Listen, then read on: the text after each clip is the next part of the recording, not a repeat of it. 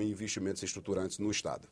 Eu estou enganado ou surgiu um, um, mínimo consenso aqui de que faltaram, ou vem faltando a Paraíba, é, investimentos estruturantes? Há um consenso, eu acho que é um consenso Pleno. no Estado é, inteiro. No, no, eu, veja bem... Consenso, eu, um sentimento, é, eu, uma revolta em determinado momento, uma cobrança. O momento, é, eu, eu, vejo o seguinte, o momento é nosso. Precisamos estabelecer metas, objetivos claros para que esse momento aconteça. A Paraíba ficou aquém desses investimentos, embora eles estejam quase prontos. Por exemplo, nós temos um porto de Cabedelo, o, as perguntas vão chegar aí, certamente vão falar sobre o porto de Cabedelo. Quase pronto.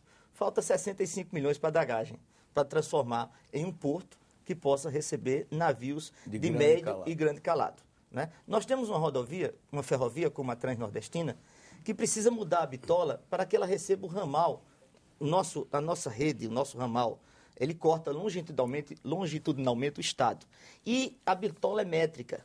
E a gente tem tratado, travado com a presidente Dilma e a ministra Belchior um trabalho para que haja um investimento de 2 bilhões de reais e transforme essa bitola métrica em uma bitola mista. Com isso, nós vamos receber um ramal da Transnordestina, integrando ali o eixo né, de, no Ceará com o porto de Cabedelo. Né? Então, estamos quase acontecendo. O, o senador Vital co coloca para simbolizar exatamente isso a questão é seguinte: a Transnordestina, anunciada, cantada como um vetor estruturante do transporte logístico e, consequentemente, é, do desenvolvimento do Nordeste, no seu projeto tem zero metro de trilho na Paraíba. E foi um dos estados que mantiveram, de Pioneiro. fato, a em, em, em uso a ferrovia, né? Exatamente, né? foi pioneiro ela, ela, hoje, ao longo dos é, anos, tá certo? Nós iniciamos e foi, é, foram hoje desativadas. Ela são 600 quilômetros, quase 600 quilômetros entre Cajazeiras, né? A gente fala em Cajazeiras, a região metropolitana de Cajazeiras, onde Cícero nasceu, e Cabedelo. Né? Nós temos. Interligando uma, uma, com o Ceará. Interligando com o Ceará. É, arrojados é. no Ceará. Então, exatamente isso. Então, nós temos uma, uma estrutura que Essa pode seria acontecer. uma das obras estruturantes. Estruturantes. 2 bilhões. A, a BR-230, nós temos uma BR duplicada de Cabedelo a Cajazeira, de Cabedelo a Campina Grande. Foi obra do PAC. Né? inclusive do governador José Maranhão, foi um dos é, grandes articuladores dessa obra. Antes do PAC. E ela, antes Começou do PAC, no né? governo Começou Fernando no Henrique governo Cardoso. Fernando Henrique, né? continuou, e agora nós estamos tratando, inclusive fizemos uma emenda, a emenda nossa, colocamos 120 milhões, uma emenda é, de nossa autoria com o apoio da bancada paraibana, para levá-la, levar essa obra até Cajazeiras. São três grandes obras estruturantes é, porque a Paraíba precisa para dar, né, aí sim, um salto do bem. Aquele salto é, eu que acho, você fala. Me perdoe, um salto do bem. Eu, eu acho o seguinte, a, questão, a questão da Transnordestina, a Paraíba está excluída por completo do projeto. E o que se defende são dois ramais, um entrando na fronteira oeste do estado, exatamente pelo Ceará, e outro que faria a ligação de Cabedelo a Suape, para que os dois portos possam se comunicar essa é a sul. por essa por essa por essa ferrovia. Via essa, a, a, a, duplicação da 230 que começou no governo Fernando Henrique, foi exatamente o trecho mais congestionado da época, que era João Pessoa Cabedelo, prosseguiu, né? Maranhão fez um pedaço, o ex-governador Maranhão, eu concluí a obra até Campina Grande, estamos lutando agora para que ela possa chegar até Cajazeiras, a fronteira, mais uma vez digo, oeste do estado. Agora, além dessas obras de infraestrutura, de estradas, de energia, quando eu falo em investimentos estruturantes, são investimentos de caráter econômico. Vou dar um exemplo muito concreto. Uma montadora de automóveis, por exemplo. Pernambuco acaba de receber a Fiat. De certa forma, a Paraíba será contemplada, porque ficará na fronteira dos dois estados e vai transbordar para a Paraíba as fábricas de autopeças, geração de empregos. Da mesma forma que no passado a Bahia recebeu, por exemplo, o polo petroquímico de Camaçari e ali se transformou por completo a economia baiana, além dessas obras de infraestrutura transnordestina, Porto e Cabedelo, transposição do São Francisco, o que nós queremos é uma decisão política do governo central para que, por exemplo, a, a, a guisa de, de, de, de exemplificação, nós possamos ter um dia, e que seja breve, uma planta de automóveis, por exemplo. Senadores. Eu quero é... só fazer, só fazer uma, uma, uma, Nós estamos aqui tratando de projetos infraestruturantes e é meu dever, tanto assim que eu coloco de forma transparente as minhas posições, né, fazer uma, um gesto né, de louvação, e aí agradecer a você que começou, e a, o presidente do Tribunal de Contas do Estado, Catão, que deu seguimento a esse trabalho da transposição do Rio São Francisco.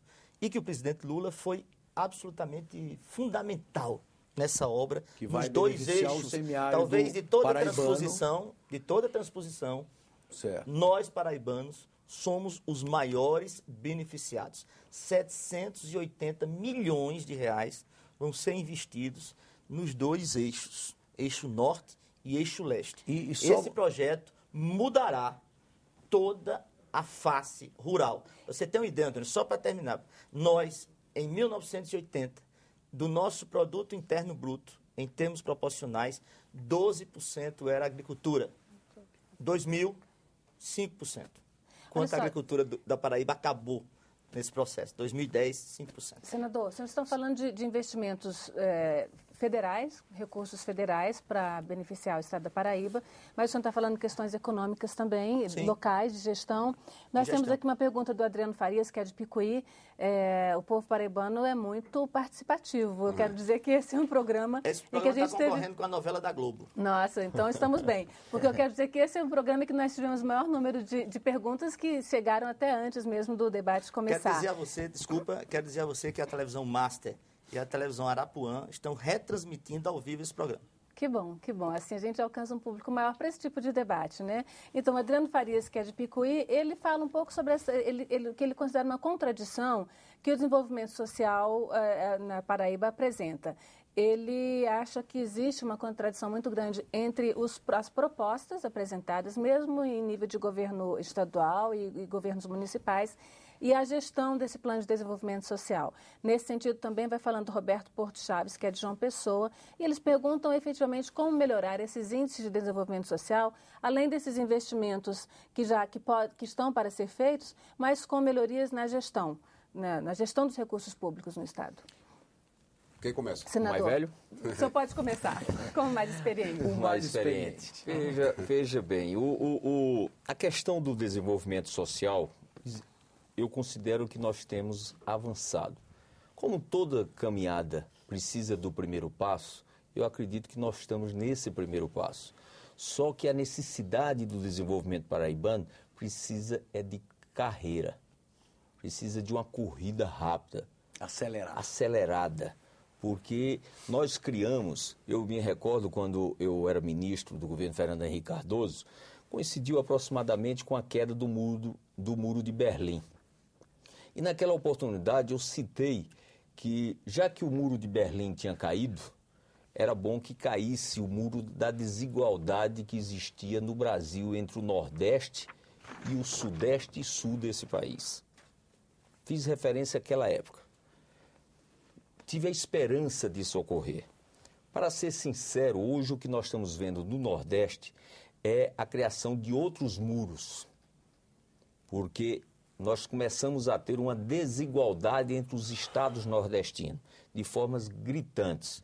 Não vai aqui crítica, vai pelo contrário, reconhecimento àqueles que tiveram a capacidade de desenvolver, que foram melhor atendidos pelo governo federal. Você se Mas refere ao desenvolvimento de Pernambuco, Pernambuco, do Ceará, Ceará, e da Bahia. a Bahia, tá certo? Mas é uma questão de gestão, senador? Tem Não uma só questão de de gestão, gestão de dos oportunidade recursos política. mesmo? Também. Também de gestão. de oportunidade política, tá certo? E daquilo que o senador Cássio fez referência, tá? Quer dizer, os benefícios, repito, não estou fazendo crítica, eu estou aplaudindo, mas também que era parte da Paraíba. Os incentivos que foram dados, por exemplo, para levar uma refinaria para Pernambuco, para o Ceará, para o Maranhão, o apoio que foi dado para levar uma montadora, os investimentos que foram feitos no Porto de Suape, que pela felicidade do projeto, que não vem de hoje, vem de lá atrás, já está comprometido toda a sua capacidade. E aí nós defendemos de Porto, nós defendemos na Paraíba já há três, quatro anos o investimento em um porto de águas profundas Verdade. no nosso estado. Concluir Cabedelo. Porque, como disse o senador Vital, Cabedelo precisa de 65 cinco- 65 milhões. A presidente Dilma foi agora há pouco a Cuba e deu, parece, 600 milhões a Cuba para ajeitar um porto lá. Enquanto que a Paraíba está precisando de 60 e poucos milhões para botar um porto para funcionar, mas esse não é o investimento. O investimento Senador. seria um porto estruturante, tá certo? Que aí sim poderia servir para o projeto ao do, do polo industrial ao redor, metal mecânico. Enfim, a Paraíba tem minério de ferro também que precisa da ferrovia, precisa do porto. Tá? Aí, o que o senador Cássio falou do, do- do- da do ligação Cabedelo, eh, Suape, nós chegamos a colocar uma emenda aqui na Comissão de Infraestrutura do Senado, depois que eu fui senador, foi aprovado e o governo não liberou um centavo para fazer. Senador, No a gente tem percebido Cabedelo. Cabedelo a. Suape. A gente percebe aqui nesse primeiro momento do debate que a bancada do- da da Paraíba no Senado é muito unida. É, tem Só objetivos, objetivos muito, Só muito lá na eleição, mas aqui certeiros. Mas é, a gente está recebendo uma impressão de telespectadores e aí é, de que poderia. Alguns telespectadores estão falando, o João Carvalho de Patos, o Luiz Soares de Almeida de Campina Grande, o Rio do Alves de Oliveira de Desterro, só para citar três que a gente já recebeu aqui, eles estão questionando se eh, não existem desavenças locais que têm servido como entrave para esse desenvolvimento. No Ceará, o senhor falou, o Ceará teve um, algumas décadas de governo, mais ou menos de, de governos seguidos, com uma mesma linha, oriundos de uma mesma eh, base política. Essa, existe uma desavença e alguns problemas políticos locais na Paraíba que têm impedido essa... Eu acho que eles são menores do que a capacidade, principalmente aqui no Senado, pela força do espírito republicano e da obrigação federativa de superá-las. Obviamente, nós temos nossas disputas municipais, nós temos a nossa disputa, a nossa disputa estadual, nós temos a nossa disputa partidária, mas aqui nós somos Paraíba, certo? E eu vejo a primeira pergunta, a questão de gestão, clara.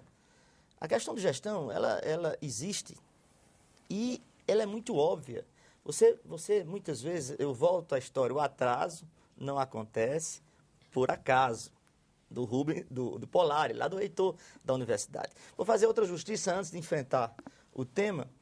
A presidente Dilma, e eu espero que quando ela via, visita Mas a Paraíba. presidente Ela Dilma não ainda foi. não foi a Paraíba. Não, né? eu espero, ela, ela vai agora em abril, segundo a informação que eu tenho. Eu espero, já deixou de ir algumas vezes, é, eu espero que ela libere os 65 milhões do Porto de Cabedelo e, e aproveite e inicie o processo do Porto de Águas Profundas, que aí sim é aquilo que, que que o senador Cássio colocou, da implantação de um grande instrumento de atração dos polos, né? um polo industrial, e é isso, isso é importante, Quer dizer, está dentro só para das nossas preocupações. além da, da, da dragagem do Não, o Porto Porto de de Cabedelo é um Cabedelo, porto de competitividade. Aquele, Perfeito. por exemplo, foi feito. Existiu o Porto de Recife? Ent- então- Aí foi feito o Porto. O Recife era competitivo, estava saturado, fizeram o Porto Suave. Nós temos o nosso Porto de Cabedelo, que é um porto altamente competitivo. Está Tem precisando problema no calado. concluir um calado. Concluir lá um calado de 65 milhões, que é Perfeito, um pouco dinheiro para isso. é. Aí eu volto à questão, e depois vamos tratar do assunto do, do Porto de Águas Profundas. Eu volto à questão da gestão. A gestão é muito importante. O aqui estamos como poder legislativo. O poder executivo, ele tem que ser agregador. Ele tem que ser convergente. Ele tem que ser catalisador das atenções de quem o representa. No caso, a bancada federal e no Senado e na Câmara. E se não há esse, essa, essa atração, fica muito difícil dos projetos andarem. Nós aqui estamos fazendo a nossa parte, claramente. Isso eu falo em nome da bancada toda. Por exemplo, as conquistas da bancada no processo de interiorização do ensino público federal da Paraíba são enormes. O governo Lula foi fantástico. Isso iniciou com interlocução ainda no governo José Maranhão, ainda no governo Cássio, quando a gente estabeleceu uma política de expansão dos IFETs. Né? Criação de campos quando, no interior. Quando a gente estabeleceu uma política de fortalecimento das nossas universidades. E Né? interiorização. Quando nós estabelecemos políticas de valorização da nossa Universidade Estadual da Paraíba. Então, todo esse processo é um processo de desenvolvimento, mas teve fortalecimento de gestão. Né? Senador, eu vou aproveitar a sua deixa da educação. E lembrando uma coisa que o senador Cássio Cunha Lima falou, que seria o caso, talvez, de ter uma fábrica de automóveis na Paraíba, eu faço uma pergunta e uma, digamos assim, vou instigar um pouquinho. Senador, em lugar de uma fábrica de automóveis, não seria o caso de aproveitar todo o potencial e a tradição na área de engenharia, de eletrônica, eh, de eletrotécnica, nessa área de física que tem. Hoje, Campina Grande é considerado um dos maiores polos da América Latina nessa área de tecnologia e transformar a Paraíba no grande celeiro, do grande vale do silício do Brasil. É uma, assim, né, que tem toda essa tradição Campina de já é um deixar... polo tecnológico importante. formado a partir exatamente dessa capacidade das, das universidades como um todo.